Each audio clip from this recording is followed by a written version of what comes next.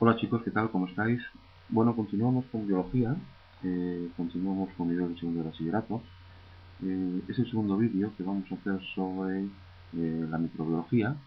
En el primero habíamos visto cuál es el concepto de microorganismo y cuál era la clasificación de microorganismo. Y vamos ahora ya a comenzar el estudio de cada uno de cada una de esas estructuras que forman parte o que forman los microorganismos. Y la primera que vamos a ver son las bacterias. Eh, ¿Cómo se clasifican o qué tipos de bacterias vamos a, eh, nos podemos encontrar? Bueno, la primera clasificación que hacemos es en arqueobacterias y eubacterias. ¿Qué son arqueobacterias? Eh, las arqueobacterias son aquellas bacterias que viven en unas condiciones muy extremas. Se desarrollan en unas condiciones de temperatura, en unas condiciones de sal, que la mayor parte de bacterias, y por supuesto la mayor parte de microorganismos, les es imposible vivir. Eh, así, por ejemplo, eh, tenemos el género Phylococcus, que es capaz o que se desarrolla eh, a una temperatura superior a los 100 grados centígrados, 104 grados centígrados, o incluso tenemos el género Alobacterium, que pertenece al grupo de los, de los, seres halófilos, que crecen en condiciones de sal, concentraciones salinas muy altas. Hemos visto, por lo tanto, fijaos, una bacteria, un género, que mm, se desarrolla a temperatura muy alta, son las bacterias o los seres termófilos, termófilos, mientras que después tenemos otro grupo de bacterias que crecen en, por ejemplo, en condiciones salinas muy altas, son los seres o que viven en medios halófilos. Bien, este sería el grupo de las arqueobacterias. El segundo grupo es el grupo de las eubacterias. Aquí es donde se encuentran todo el resto de bacterias, las demás, eh, las más típicas. Tenemos, por ejemplo, la Escherichia coli. Eh, son bacterias, microorganismos muy pequeños. que estamos hablando de eh, una micra a 10 micras, un tamaño de una a 10 micras, para que sepamos, o para que nos hagáis una idea, una micra es 10 elevado a la menos 6 metros. Eh, se encuentran adaptadas a, a, vivir en cualquier medio, sea este terrestre o sea este acuático. Y las condiciones de vida para nada se parecen a las condiciones de las eh, anteriores, de las arqueobacterias. ¿vale? Eh, aquí, desde el punto de vista de su, nutrición, desde el punto de vista de dónde adquieren la materia prima para formar, para formar materia orgánica y así poder vivir y desarrollarse, eh, veremos que hay todo tipo y condición. Hablaremos de ser, podemos encontrar bacterias autótrofas y podemos encontrarlas heterótrofas. Autótrofas las podemos encontrar de las dos maneras fotosintéticas y quimiosintéticas.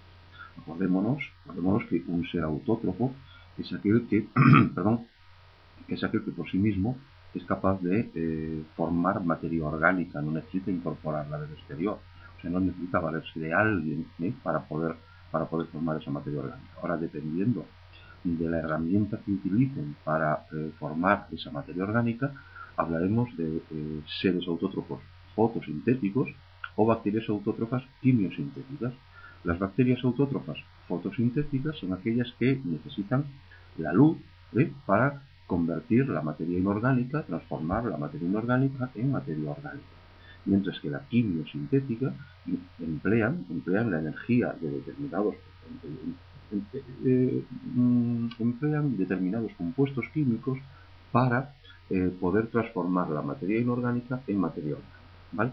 Es la diferencia entonces entre un autótrofo fotosintético, luz, ¿eh? y un quimiosintético, sustancia química, para convertir materia inorgánica en materia orgánica.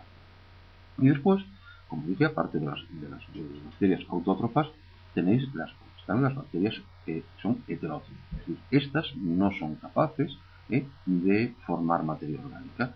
Entonces, por lo tanto, van a necesitar de otro individuo para poder adquirirla, eh, o de otro medio. Entonces, aquí tendremos los tres tipos de relación que se pueden establecer entre eh, un ser vivo y otro o un medio ambiente, que son eh, seres saprófitos, simbióticos o parasitismo. Eh, un, ser heterótrofo saprófito es aquel que vive sobre materia orgánica en descomposición y se aprovecha de esa materia orgánica y la recoge para él un, ser eh, heterótrofo simbiótico es aquel que vive, como ya dice la palabra, en simbiosis con otro, no se hacen daño mutuamente, uno recibe un beneficio y al otro individuo le da igual que ese individuo esté en simbiosis con él. Y una relación de parasitismo es aquella en la cual un individuo se beneficia de otro, eh, pero provocándole un daño, provocándole un mal. Como vemos, entonces, en todas las eubacterias, en todo el grupo hay una enorme variedad de ellas. Hemos visto los diferentes tipos en cuanto a su metabolismo, en cuanto a la forma de obtener la materia orgánica. Y esto hace que estas bacterias estén presentes en, o tengan un papel fundamental en el equilibrio ecológico. Todos los muchos ciclos, todos los ciclos bioquímicos ¿eh? se encuentran de alguna manera regulados o intervienen eh, eubacterias.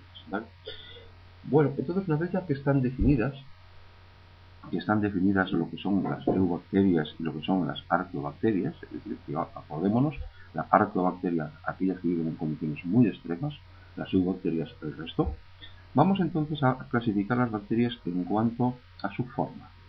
Eh, son varias las, eh, las, formas tipo que vamos a encontrar o que podemos tener delante de una bacteria, que son, vamos a hablar de los focos, vamos a hablar de los bacilos, vamos a hablar de los espirilos y vamos a hablar de los vibrios. ¿De acuerdo? Son las cuatro formas en las cuales puede adoptar, puede adoptar una bacteria. Bien, ¿qué son los cocos? Los cocos son bacterias redondeadas, bacterias redondas, como bolas, como esferas. Aquí tenemos en la figura, tenemos claramente como un coco. Lo que es un coco, una bola, una bola pues esférica, y ahora en función de cómo esa bola se encuentra agrupada, de cómo ese coco se encuentra agrupado, podemos a su vez tener diferentes, diferentes tipos. Podemos hablar, si la agrupación es de dos focos, es decir, dos esferas, dos bolas, hablaremos de diplococos, ¿vale? Eh, un tipo característico de, ya veremos que en esta figura podéis ver lo que son los diplococos. Otras veces eh, se encuentran en forma eh, de racimo, o cadenas, más que racimo, cadenas, cadenas de, cadenas de esferas, cadenas de cocos. ¿no? En este caso estaremos hablando, por ejemplo, del género Streptococcus. ¿vale? Otras veces nos aparecen como racimos, es decir, los cocos aparecen como si fuese un racimo de uvas, ¿vale? Estaríamos hablando de los estafilococos, ¿vale? O incluso pueden llegar a formar masas, auténticas masas cúbicas. En este caso hablaríamos de saracinas. Entonces, los cocos, como digo, eh, características fundamentales que son esferas, son bolas. Ahora, ¿Cómo pueden aparecer, cómo pueden aparecer en la naturaleza? Bien, pueden aparecer primero aislados. No sé si lo dije antes. Pueden aparecer aislados. Y en segundo punto, ¿cómo pueden aparecer? Ahora, bueno, pues se pueden agrupar. Digo, son dos. Entonces, en este caso hablaríamos de diplococos. Se pueden asociar como cadenas arrosariadas, es decir, formando como las cadenas de un rosario. Estaremos hablando, por ejemplo, del género Streptococo. Este, mm, pueden aparecer formando racimos, ¿vale? Como si fuese un racimo de uvas. En este caso estaríamos hablando de los estafilococos o bien pueden aparecer como masas cúbicas. ¿eh? En este caso hablaríamos de sarcinas. ¿vale? Eh, en este tipo de bacterias, bueno, ya mm, para terminar de hablar de los cocos, eh, decir que la superficie, o la relación, mejor dicho, la relación superficie-volumen es muy pequeña. ¿vale?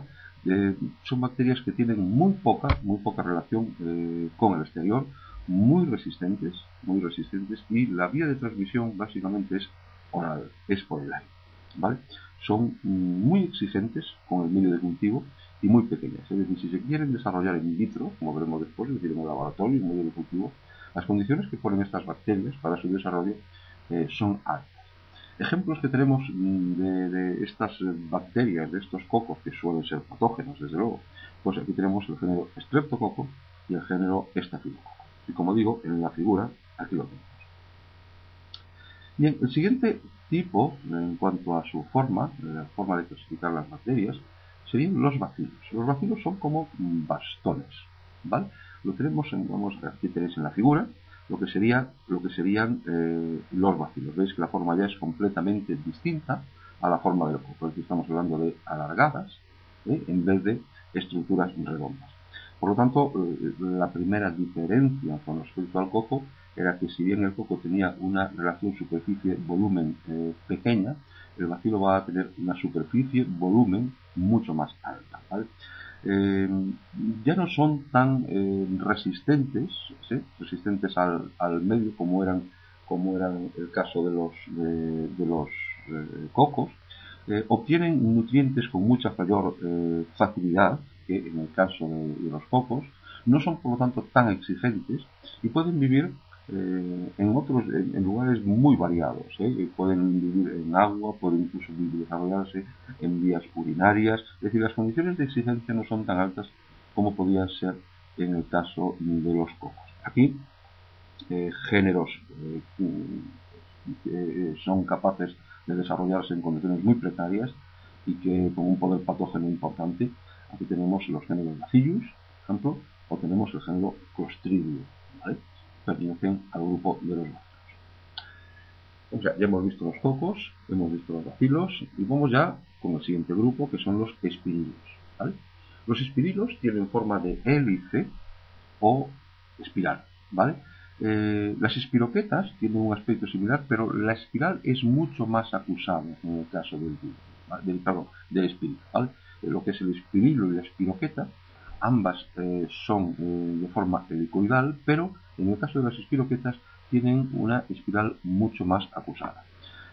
son capaces de moverse los espirilos en medios viscosos y avanzan como, si, siguiendo el movimiento del tornillo. Su diámetro es muy pequeño, y aquí ejemplo típico de espirilo tenemos el agente que causa la sífilis, y es el problema pálido, ¿vale? Son mucho más sensibles a las condiciones ambientales que los bacilos, ¿vale? Y eh, la forma de transmisión es vía sexual. O también pueden hacerlo mediante un vector, es decir, un vector sabemos que es aquel elemento que se encarga de transmitir un agente de un lugar A a un lugar B, de un ser A a un ser B. ¿de acuerdo? Y en este caso el vector suele ser el artrópodo, ¿de acuerdo? Y por último, tenemos los vidrios. Los vidrios son muy cortos, son curvados, tienen forma de coma y el ejemplo característico, aquí podríamos hablar del vidrio coleae. Bueno, hemos visto entonces en esta lección, bueno, aquí tenemos en, esta, en este dibujo, tenemos un, o podéis ver un ejemplo de cada uno de los elementos que hemos visto. ahí tenéis los cocos, ahí tenéis los diplococos, aquí podemos ver las cadenas rosariadas, aquí podemos ver los vacíos y podemos ver las espiroquetas y podemos ver los vidrios. ¿vale? Entonces, como decía, en esta lección hemos visto eh, lo que es la, clasificación de las bacterias, hemos, nos hemos metido en la estructura, eso lo veremos en la siguiente lección. Hemos visto que la clasificación puede hacerse en arqueobacterias y eubacterias, ¿vale?